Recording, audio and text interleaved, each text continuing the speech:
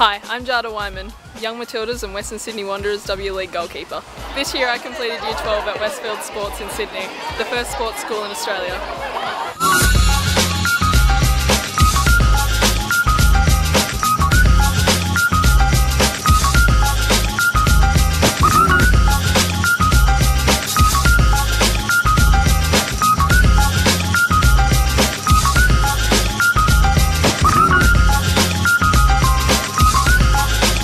Here today with Heartbeat of Football to find out what Westfield students know about heart health. Heartbeat of Football, a not for profit charity, was founded in 2016 to work with amateur football clubs to educate, train, and equip players and officials in order to reduce the risk of heart related deaths on the field. Do you know what to do if someone has a heart attack or a cardiac arrest? Uh, recently, we've been learning in our health class, but most uh, for the start, you have to do doctor's ABCD. But normally, I wouldn't be the person to do it because I'm not a trained medical person. Do you know what to do if someone has a heart attack or a cardiac arrest? Um, no, not really actually. Um, probably the medical staff, like the physios or whatever, could potentially know what to do. So I would rely on them, yeah. No, unfortunately I don't, but it is something that I would like to learn because I think it is very important and could be useful in very in situations. Uh, no, but I know the first thing to do is get medical attention, so either look for someone who's a doctor or a physio or someone who's around. Do you know CPR? Yes, I know what it is. Um, I wouldn't know how to do it properly. I've probably relied on the medical staff as well to do it. Yeah. Um, do you know CPR? Uh, briefly, but I know it's just pressing on the chest or the heart area. That's about it.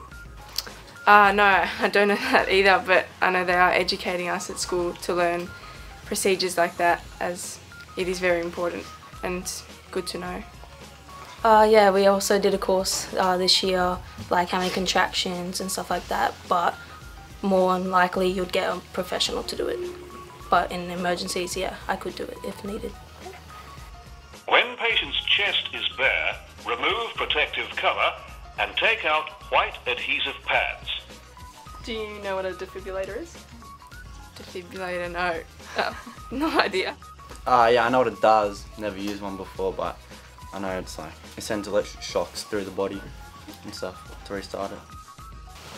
No idea, but I know that there are um, Australia is trying to put a lot more defibs on around the local ground. Yes, I've been taught, but never actually used one. Like it just sends electric shocks to the heart to help get the heartbeat and get a response. But overall, no, I wouldn't uh, be capable to perform it. At Westfields Sports High School, students are learning about CPR and how effective it can be in tandem with the use of a defibrillator, a life saving device. We have always taken CPR really, uh, I suppose, importantly here. Uh, certainly all our staff are trained, but um, in our uh, PDHPE courses it's a mandatory component there. So uh, we think it's really important because heart health is absolutely vital.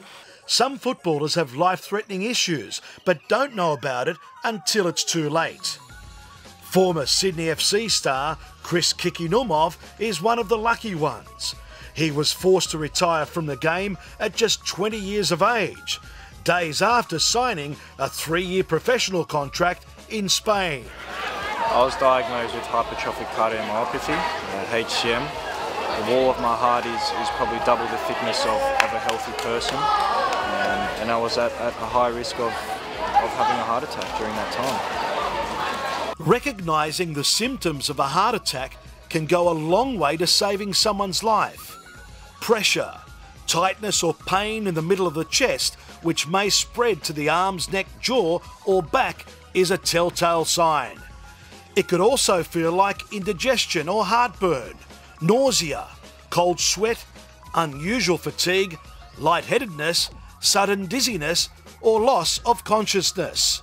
Unfortunately, um, um, heart issues don't just affect elderly, that is certainly a, a common misconception out there in society.